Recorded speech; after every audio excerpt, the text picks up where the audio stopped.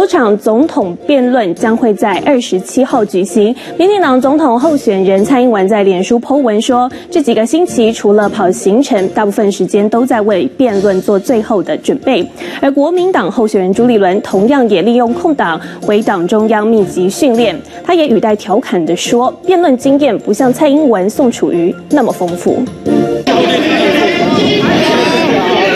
选起跑后第一个周末，朱立伦排定七个行程，帮党籍立委造势。倒数关键时刻再出绝招，祭出夫人牌。高婉倩下午首度现身，洗手做羹汤，好像是很多他的一些好好朋友啊、好姐妹，大家一起煮红豆汤。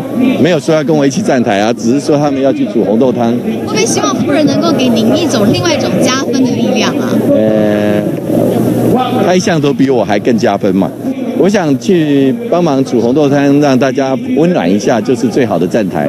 冲选情靠肯丘猪猪姐，三叔就差酷酷嫂周美青。但面对即将到来的总统辩论，只能靠自己。我们最重要是准备我们的证件。我觉得这一次要让所有的我们的国民做一个选择，那就是比较大家的不同。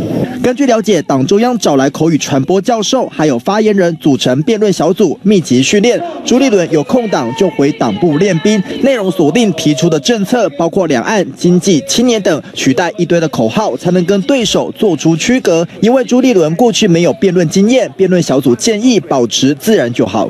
也没有什么辩论团了，就是大家提供一些意意见。那我当然比较不像蔡主席这么有经验，宋主席这么有经验，大家会提提醒我一下嘛。那我也总是要练习一下。我要问我们桃园的市民，我们大家是不是要来努力？把它做的成功？大家说好不好行程同样满档，蔡英文全力冲刺，但也不忘备战辩论。